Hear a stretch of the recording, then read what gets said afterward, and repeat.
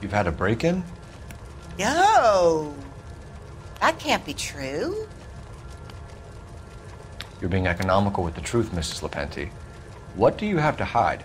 I have no idea what you are talking about. So Antonia lost her keys and used an iron bar to jimmy the back window? I heard a noise in the early hours of the morning.